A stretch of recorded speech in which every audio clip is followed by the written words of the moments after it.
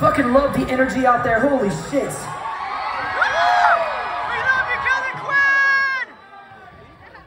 You guys mind if we, if we play a few songs off of our Madness record right now?